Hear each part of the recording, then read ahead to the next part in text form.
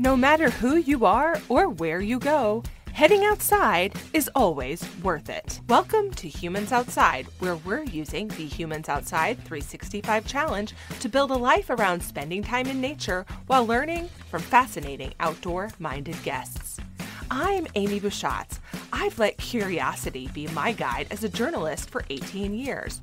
But life, including my husband's war injuries, had burnt us out. So we moved sight unseen to Alaska to see if a change of scenery and new focus on outdoors was just the shift we needed.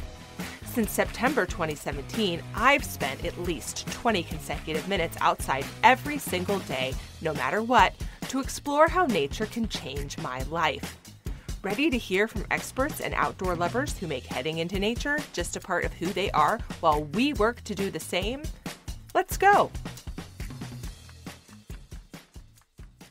When we talk about spending time in nature every day and building a life around getting outdoors, what we're really talking about is creating a new habit, one that gets us outside. You can like to go outside or find value in going outside every day, but that's not what is going to get you out there, even when the weather is bad or when life is busy or overwhelming. What gets you out there every day, no matter what, is that habit. Here at Humans Outside, we have our very own habit expert, Sarah Hays Coomer. Sarah joined us in early 2021 to talk about the nuts and bolts of building an outdoor habit. You also may have heard us rerun that episode recently as one of our best of episodes. But because we know we can never spend enough time learning the whys and hows of habit as we look to create that daily pattern, Sarah has been so awesome as to offer to come back again this year for the kickoff of Humans Outside Season 5. And we've got a special theme for season five, by the way. We're going to focus on how to utilize nearby nature and why getting outside daily doesn't only have to be a big to do or an event with a capital E, but how you can and should use what's right outside your front door. And that starts before anything else with noticing what you have. A little bit about Sarah before we get started. Sarah is a Mayo Clinic and nationally board certified wellness coach, author of the Forbes column, Hey Health Coach, a personal trainer, and author of The Habit Trip, a fill in the blank journey to a life on purpose. Sarah, thanks so much for coming back to Humans Outside for season five. I am thrilled to speak with you again. Amy, thank you so much for having me. I'm thrilled to be here, and I your your work is such an inspiration to me. Watching you run around outside all the time. Well, thank you. And I love that we're now at a point in this podcast adventure where I can have repeat guests who I just love. This is so fun. so I, I, think it's a sign we've been I've been doing this long enough. I can ask people back. So thanks. Definitely, for, it means people are listening. Thanks for doing it. All right, so you know because you've been on the show before that we always start our episodes talking to our guests like imagining ourselves in their favorite outdoor space and the last time you were here we talked about your favorite spaces being the top of griffith park in los angeles california. So yeah. i want to know are we there with you again this time for a second hangout? Uh, are we somewhere else? And uh, wherever we are would you mind describing it I mean, always, yes. The, the the top of Griffith Park is my touch point. It's my place that I go to make sure I'm still human and still myself. And um, if I'm down, it always lifts me up. Um, so you can see the observatory from there on a clear day. You can see the ocean. Um, and you can also see the skyscrapers in downtown. So it really gives me kind of peace. It's a place that I went to for many, many years when I was dealing with some pretty dark times. And it's just a, a beautiful, wonderful place that I go back to. But um, so we were just talking before we went on air here about skiing, and it made me think about how in February I'm going to get to go up to the Rocky Mountains and go skiing, which those mountaintops are another spot where I tend to find my happy place. So now today I'm thinking about that. Awesome. Yes. Uh, it's nice to have multiple happy places so we can travel to, around to them uh, depending on the day. So there you go. Yeah. Um, we also talked last time about how you became someone who leans on nature for health and who likes to go outside. But I'm hoping you can give us a reminder again for the folks who may not have heard that episode. What is your story?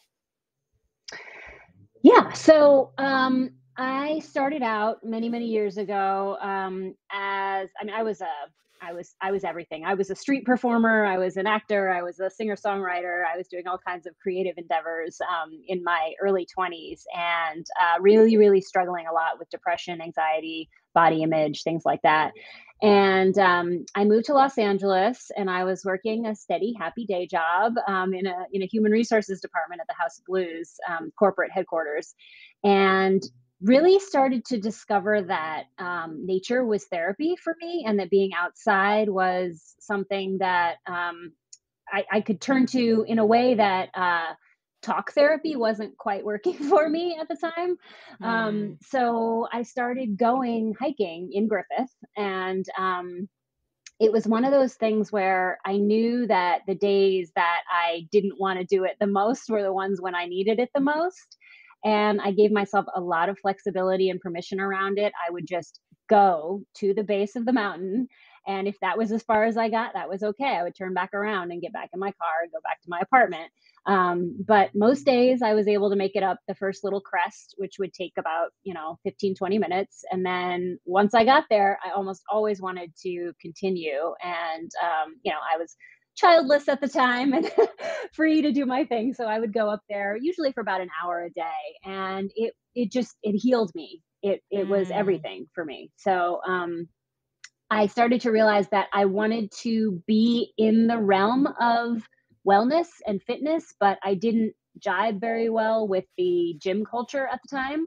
Mm-hmm. Um, so I did go ahead and get my um, national certification for personal training and focus specifically on people with um, challenges, people who were dealing with whether it was, you know, chronic pain. Um, injury, eating disorders, body image, menopause, pregnancy, any kind of thing where they were trying to figure out how to make peace with and how to strengthen their bodies. Um, so I was never, you know, running marathons or um, training people for boot camps or anything like that. But um, so it was a gentle approach to train to training and fitness and wellness. Um, and over time, I just felt like there wasn't um, those voices weren't being heard and seen in the press in the wellness world. So I started mm. writing for some magazines, freelance, and then eventually got into book publishing. And now I have three books on the topic. Yes, very prolific. And I have to say, as somebody who is is uh, attempting to get a book published, boy, is that hard. Good job. it is. The first one took me about 10 years. So I don't think heart. people appreciate what a feat of nature that is to get yeah. a book printed by somebody else. So. Yes, it is. It is quite a challenge for sure. Yeah, not a not a small thing. Well, thank you for telling us telling us your story. Um, and we, like I said in the intro, lean on you for your habit building expertise, which you of course have established through um, learning about wellness and and um, coaching wellness. Uh, so we like that intersection here because, of course, heading outside is a matter of wellness. Um, and so it just makes sense. So thank you. Um, yeah, I'm happy to be here. Yeah, so we're really going to focus today on two things mindfulness and what accessibility has to do with habit. Okay, so but before we get there, can you walk us through just those, speaking of habit, basic steps for building a new habit?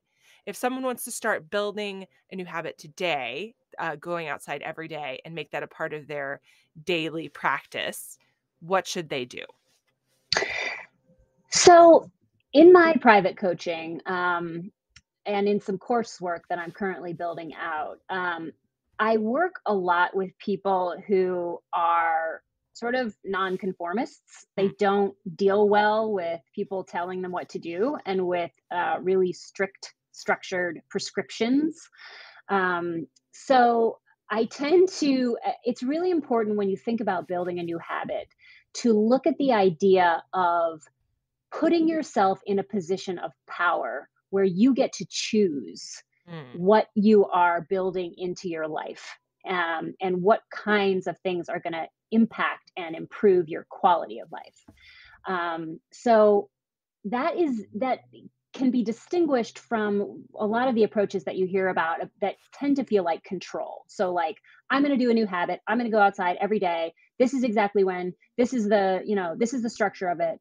Um, so instead, making it your own, hmm. um, and and making it about choice rather than making it about controlling yourself or your body or your choices that of course applies to food choices and anything else that you're trying to kind of tweak in your life um, so it's all about you and your uh, autonomy and agency to be able to choose what you're what's going to make a big difference for you and i know that people mm. listening to this podcast are learning and growing how um, outdoor habits um, which is you know the science is now showing that that's just hugely hugely important um, for for health and happiness and well-being so um, once you have decided this habit is the one that's going to genuinely improve my life and here's how i want to do it then you're looking at three parts, which are the classic three parts of a habit, um, which are detailed beautifully in The Power of Habit by Charles Duhigg, or also in my book, The Habit Trip, um, where you can learn about these three parts. So there's a cue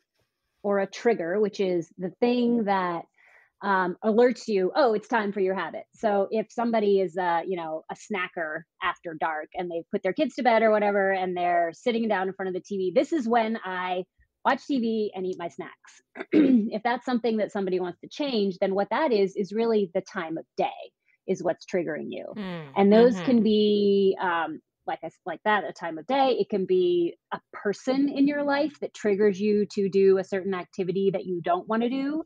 Um, and then when you're trying to build a new habit, you can use this cue. So when I get up in the morning and brush my teeth, is when I go outside and I have my 20 minutes outside, or, you know, it's when I do my 10 push ups in the morning, or whatever it is that you're trying to implement. So, cue is part one. part two is the routine itself. So that would be either the going outside or the mm-hmm. sitting in front of the TV and eating your snacks. Um, and then the reward is the payoff. So, what are you getting immediately out of this thing? What is the short term payoff? So it can't be like I'm going to lose 10 pounds in a month or two. It's it needs to be what am I getting out of it immediately in the moment that is rewarding and is a payoff for me. So when you have a habit like snacking after dinner that you want to be changing, your the reward is probably something in the realm of relief um, or you know downtime or feeling like it's me time or you know whatever um, kind of real genuine kind of comfort that you're getting from that. Um, because habits what we call them bad habits they're really just coping mechanisms and they make a lot of sense. And so if we can approach them with that kind of generosity and kindness and we can realize ah i'm just i'm managing. I'm hmm. managing which was a big deal for everybody this past couple of years. Right. Um then you can go, okay, so it's the comfort that I'm craving. And here's the cue, the time of day. So what mm-hmm. it, what can I insert into that routine, that center part that's going to still give me that sense of comfort um, and and and have that payoff that I'm longing for. Hmm. Um, I want to go back to something you said about shaping a habit to be something that's for you versus something that you're told to do um, because I think yeah. that's really that's really important. And when we hear people talk about New Year's resolutions, or right. we hear somebody like me suggest you go outside for 20 minutes a day every day, it's easy to feel like, okay, I have to do what this person's saying. Like, obviously, yeah. this is a good idea because this is what's suggested. When the reality is, we know that resolutions to go to the gym all the time don't work, right? Like, we just right that's a fact okay and right. we know that maybe going outside for 20 minutes a day isn't what is best for you that doesn't be that doesn't meet your practice but there are plenty of things that say that going to the gym is a good idea because exercise is good, right? And that going outside is even better because fresh air and all of the other various benefits we talk about a lot on this on this podcast. So how you get to the point where you utilize exercise in the case of the gym or going outside in the case of this um, isn't as important as the as the outcome right? Like that you are moving and that you are being outside. And so you to make that a success eh, what you're saying is have to pick or examine your own self to understand how to get to the point where that's practical and meaningful and able to be a habit for you, right? Yeah, I mean, you know, what are you craving? Hmm. What what feels like friction in your life right now? What feels bad? You know, whether that's I'm not sleeping or my back hurts all the time or my digestion isn't quite right or I'm feeling down. You know, what is fe- what is off is a good place to start because we're usually pretty aware of those. And then what are you craving? What is the actual resolution that you're craving?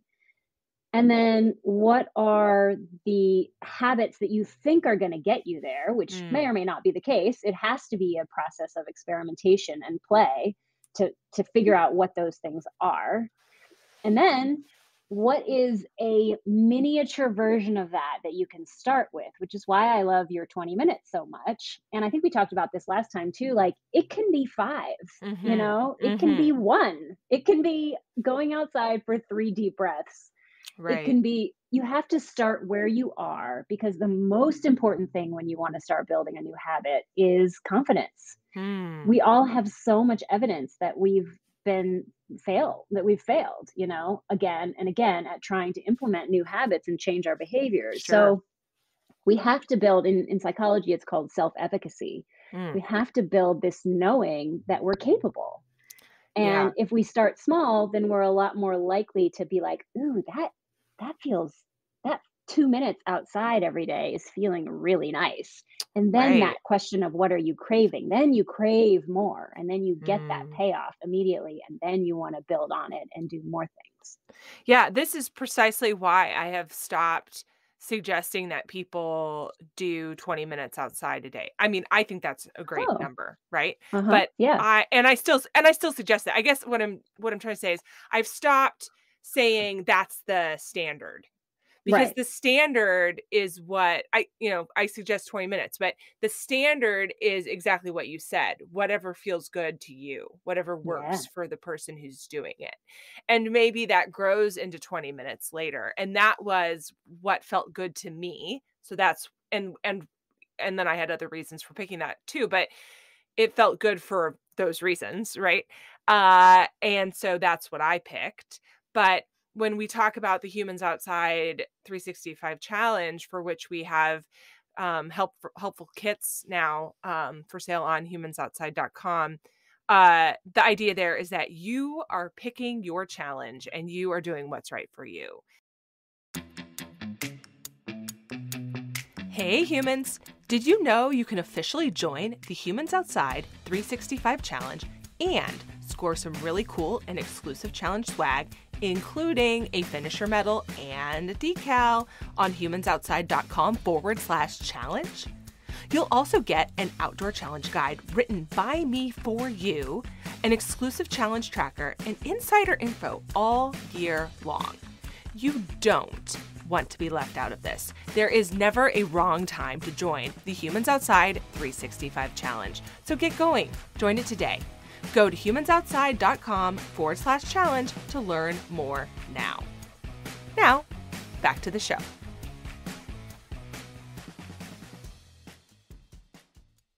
This season, we're talking a lot about nearby nature uh, and using nature that's right outside your front door without making a big to do about it. That's that's one of our themes. Um, and as I was thinking about this, I realized it comes down to a few important steps, like changing how you think about nature, to not be this grand, like far off, random thing. Uh, and then letting the definition include what's around you. So that's this accessibility piece. Um, mm-hmm. But I've started to wonder if that very first step to broadening that definition is something that you were just mentioning, which is noticing yourself and then noticing what you have. Uh, mm-hmm. And we can call that mindfulness, even though maybe that sounds kind of foo foo to some people. So, mm-hmm. so let's talk about mindfulness. What is mindfulness? And am I suggesting too simple of a definition? So, uh, mindfulness is non judgmental awareness. Hmm. That is the definition of mindfulness.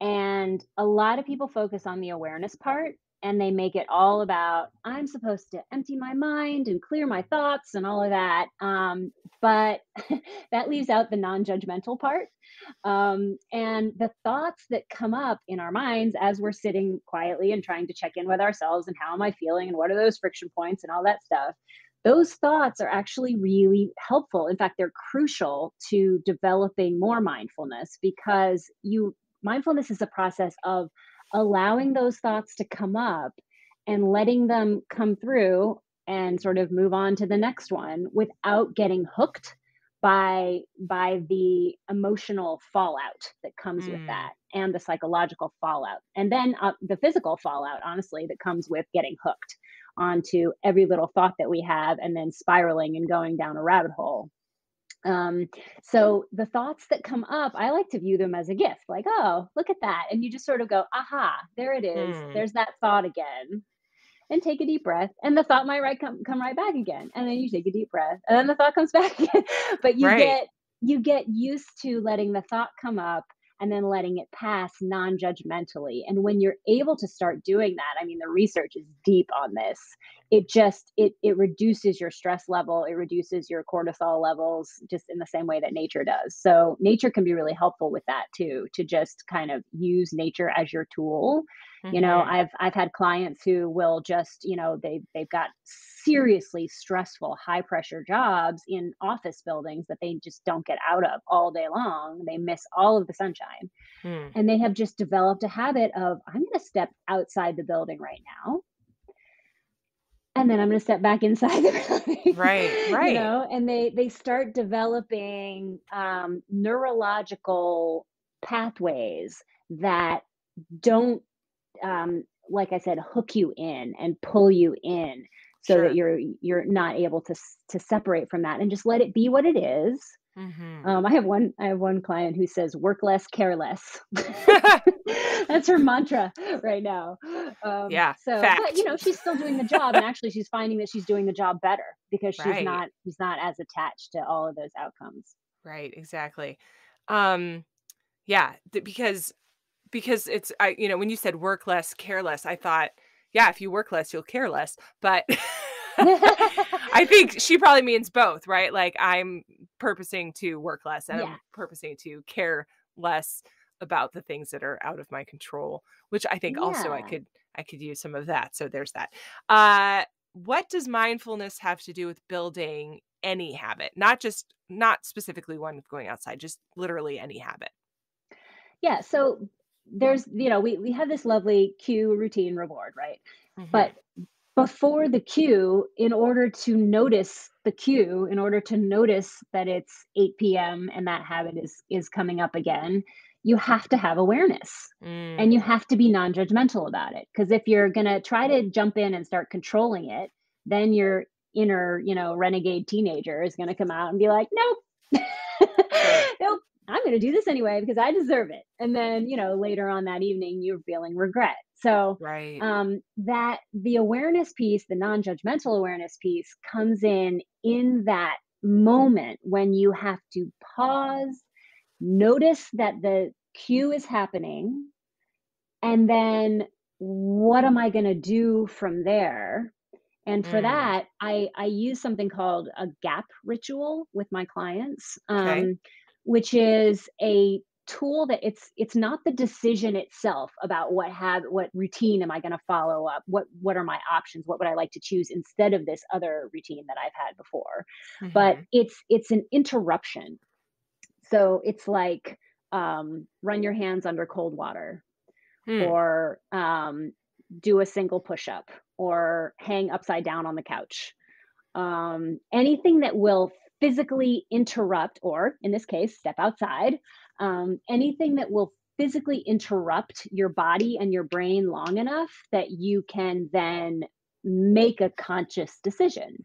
And then you get to choose what you want. And if you want to choose the comfort of eating your snack and sitting in front of the TV, then you can choose that, but you're doing it on purpose. Yeah. Which means you lose all that guilt and all that frustration passes away with that.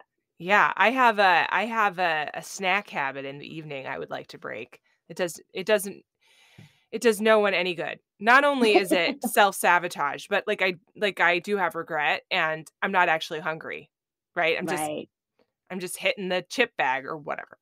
Yeah. So I'm gonna start I think I'll start doing a push-up because that's a really good idea. And then maybe I'll get better at push ups at the same time.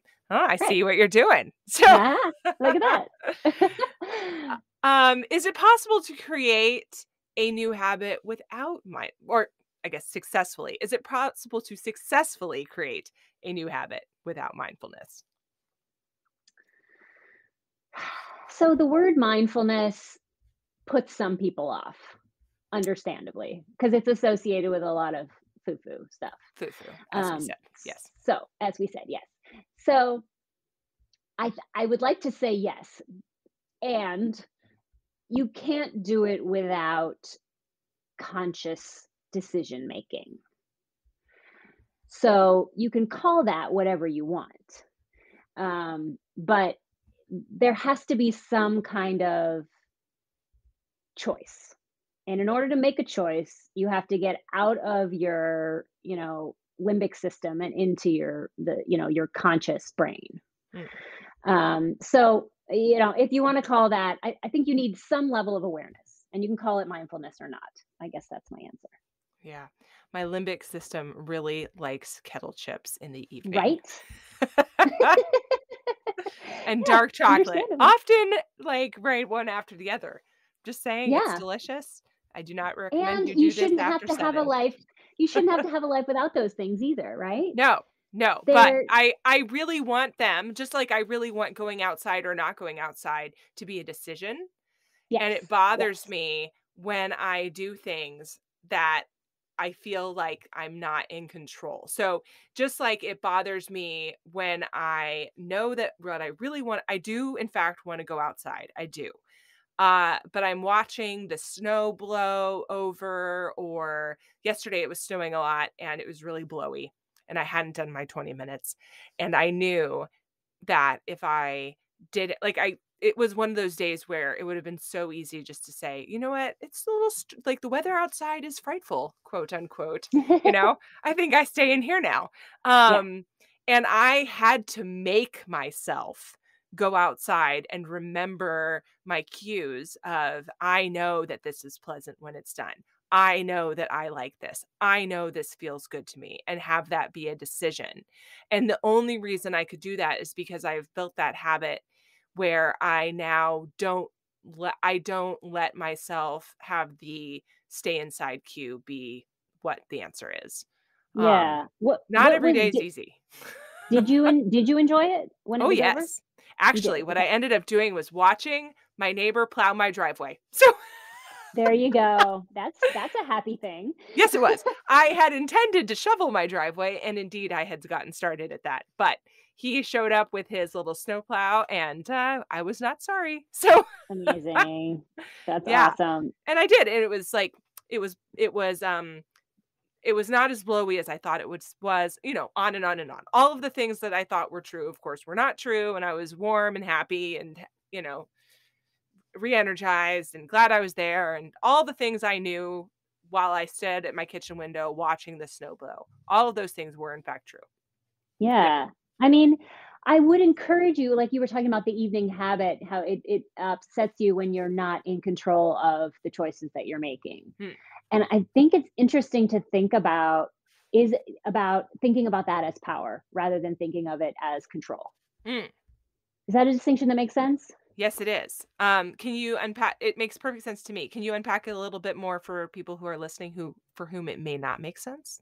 Yeah. So this idea of control is where so many of us get so frustrated because we don't like to be controlled even right. by even when those rules are our own um, so if we can think about uh, think about it in terms of power so that you then are the one who has the opportunity to make a choice and honestly even though you know you're the 20 minute outside lady like if you have a day and you have the power and you know that for you for your family there's an emergency there's a you know who knows what's happening there's a huge blizzard or there's something and for you for that day you want to decide that you don't want to go outside for 20 minutes you have the power to do that.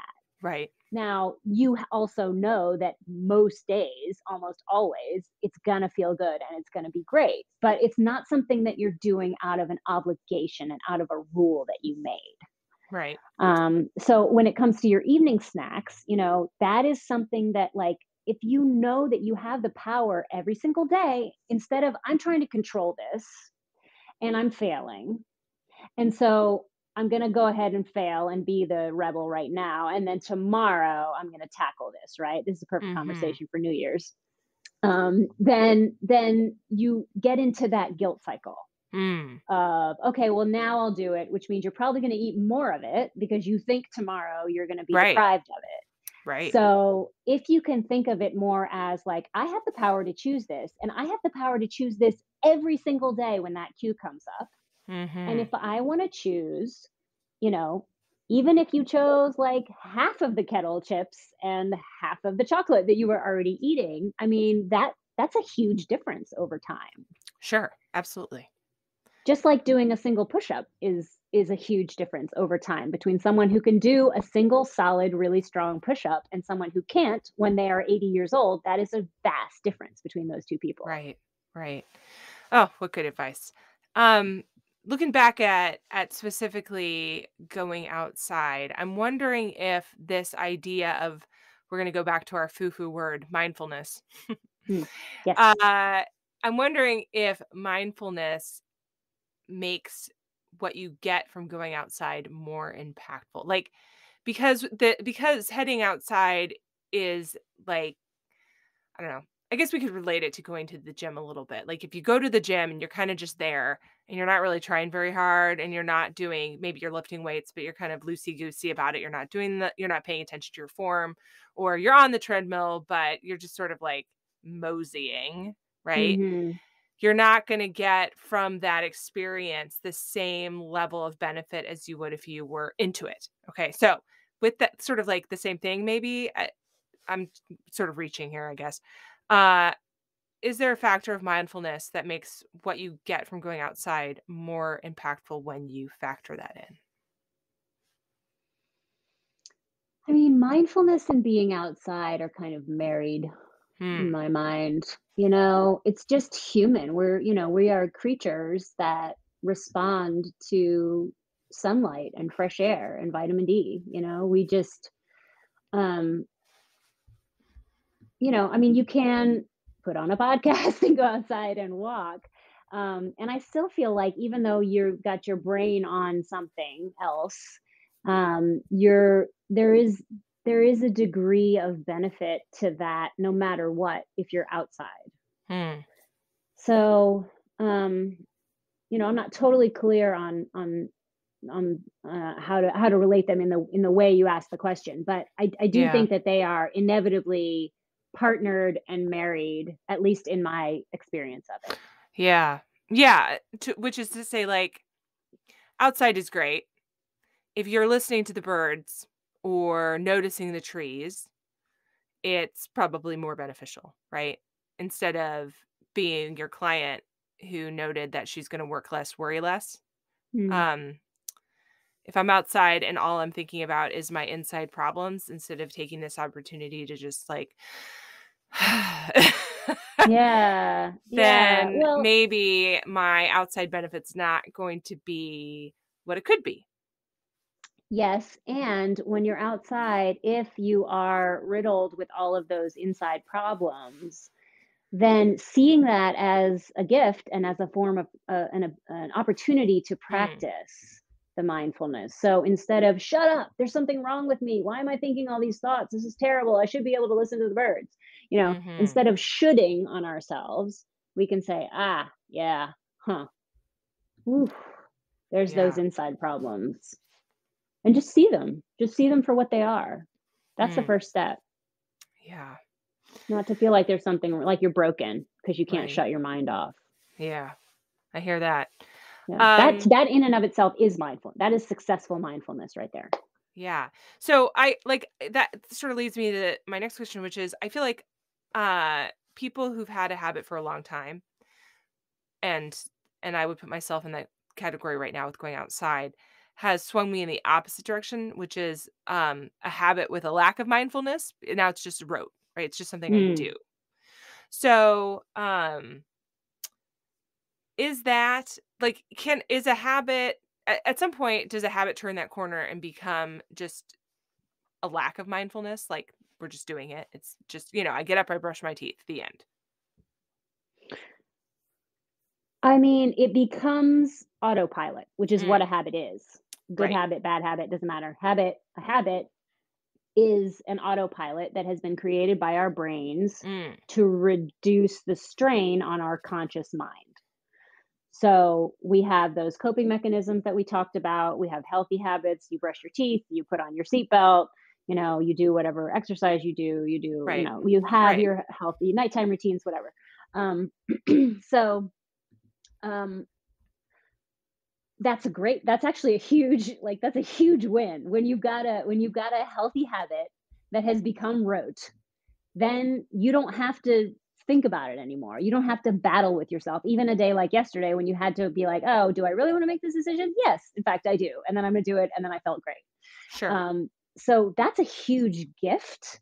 Um, that feeling you describe is really funny. I hear that too from people who are losing weight who mm. have lost a certain level of weight and then stayed at that weight either because they plateaued or because they were happy there. Mm-hmm. Um, and then after a certain period of time, that feeling of that new body starts to normalize. Mm-hmm. And then they start to feel restless and they start to feel like it's not good enough, um, which is what the brain does. So, but what that means is that they have achieved normalcy with the new healthy routine habit whatever um, and that just means that they have an opportunity to decide again whether they want whether like that's great. I don't even have to think about this anymore. It just is what it is. It's what i do and i'm happy and this is my great quality of life.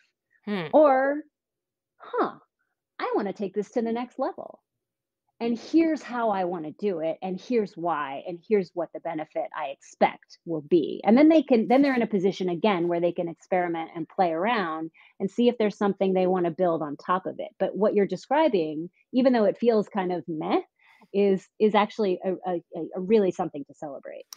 So what we're saying is, for those who are listening who have successfully built this, uh, join me in giving yourselves a pat on the back. Good job. Absolutely. We did it. High fives. Yes. Okay.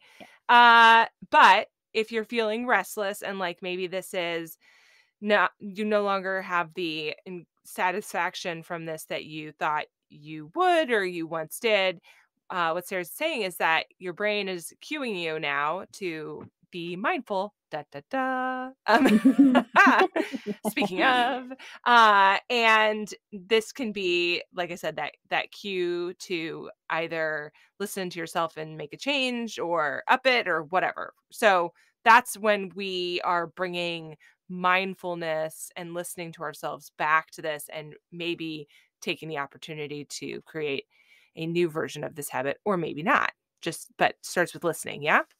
Yeah, maybe it's maybe you're changing something that you're doing inside of that 20 minutes. Mm, mm-hmm. Maybe it becomes more specific, or maybe mm. it's a longer time, or maybe you know who knows. There's a million ways that you could you could build on yeah. and grow. Maybe it doesn't, you know, maybe the outside habit has something to do with something you want to do afterwards inside. You know, yeah. There's, Ooh, that's there's a good idea. Yeah, yeah. Um, I kind of uh toy with the idea of tacking on you know, taking this restlessness cue and then tacking on um, being more purposeful about leaving behind my electronics. Mm. Um, which is something we've talked about here on the podcast before and done miniature challenges around.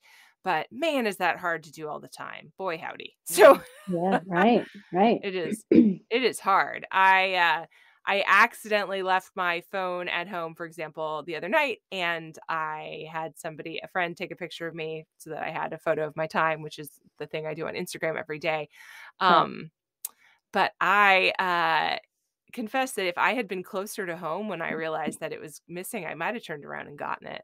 Instead, yeah. I didn't because I wasn't. I was going to be late, and I didn't want to do that. And um, yeah, not having that was pretty great. Didn't have to think about it, didn't have to worry about it, knew not to look at it. I didn't have it. Yeah. Right. You know, Yeah. it's kind of spectacular. So It, it's so foreign now to be without any kind of connection or screen. yeah, yeah, Yep. it was it was uh it was a very freeing, accidental, screen-free time, um, Okay, so that right there is like an that. experiment. Like you Yeah, you actually sort of force fed yourself like, oh, that's how it feels by accident. Yes, this is what happens also if you are out of chocolate at your house. So, Ah, indeed. So right? same, same. Yes. It's an accidental, uh, all right, well, I guess we're going cold turkey on that today. Cool. Right. Oh, yeah. Well, thank you for this advice on bringing on mindfulness and how it relates to habit and building a habit. I like, you know, like you indicated, this time of year is habit heavy. It just seems like the perfect time to start fresh, start something over, and um, habits are top of mind for people. Uh, and as we do that, it's just it's good to remember the nuts and bolts of that and how how it can be a part of your life beyond January and February and even March and you know, just something that you do going forward. So thank you for that. yeah, it's an everyday choice. It's it's not it's January is just another day. Yeah. A cold day, no less. A cold day. Yeah. so, okay, you know, because you've been on the podcast before, that we like to end talking about our favorite and most essential outdoor gear. Um, you shared uh, with us last time. Do you have an update? Is there anything new or, or different that you love? Well, so yeah, last time was my fanny pack, I think. Mhm. Um, I I like that. Is that what I said? I think that's what I said. Um, I love to have my fanny pack with my phone and my water bottle. Yeah, Um, well, you know, but only uh, the I was important thinking, things. right? Yes, I was thinking about my All Trails app Hmm. that I love because when I'm on book tour or um, going giving workshops and things, I I really love to have my All Trails app because I can always find a trail somewhere where I am um, where I can go do my walking, which is my way of being outside. Yeah. So um, yeah, so that's that's probably my Yeah. my That's an, that's one I'm focused on now. And Yeah, that's such a good recommendation too, because it because you know you're right. It it's a great way to you know now that we're traveling again and whatnot. Um, yeah, it's a good way to have that connection with having a plan because um, one of the when you're out of your normal everyday routine, one way to keep a habit going outside of that is to have a plan. So yeah. um, I, I find having a plan to be very important for when I'm traveling because otherwise the outside time does not happen. So, Yeah, and you can also, like I've seen you do, you know, in your posts at the airport or whatever, you can you can find you can oh find yes, opportunities along the way, and that that all trail all trails really comes in handy when you're like, oh look, I have two hours. What's close absolutely. by? So Right. cool. That uh, when I go outside, when I'm traveling, for those who don't know, I often will do, I often have a longer layover because I'm going from Alaska. Um, and or I will book a ticket to have a longer layover because I know no matter what happens, I'll get where I'm going late. Um, and I spend part of that layover outside on the drop off area of the airport. Uh, but you know what? Like that is really a function of having a plan too, right? Because Yep. as I said, I know that I have a layover, I know where I'm going, or I've booked it to have that layover, and so on and so forth. And it is super easy to really just stay in the airport. So, Yeah, yeah. especially if you're not familiar with the weather, wherever it is you are laying over. Um, and Seattle just never looks that that inviting. So, so I'm always like, hmm, how about we stay inside and have a snack? You know. Anyway. Yeah. So, all right. Last but not least, uh, if you would mind, wouldn't mind walking us out with with your favorite or one of your favorite outdoor moments, just help us envision you in a time that you just like to remember. Uh, where are you and what are you doing?